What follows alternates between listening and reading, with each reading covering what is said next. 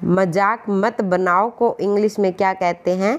ये आज की इस छोटी सी वीडियो में हम जान लेते हैं।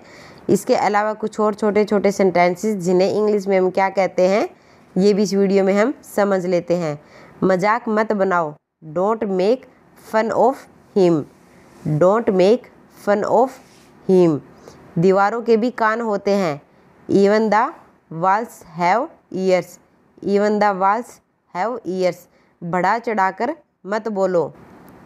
डोंट एग्जाजरेट डोंट एग्जाजरेट किसी को बुरा मत बोलो।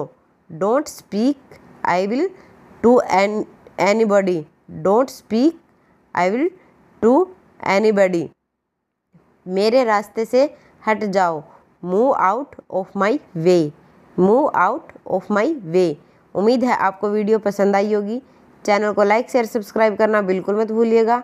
अपनी इंग्लिश को और ज़्यादा बेहतर बनाने के लिए चैनल के होम पेज पर हज़ारों वीडियो हैं, जिन्हें जाकर आप देख सकते हैं।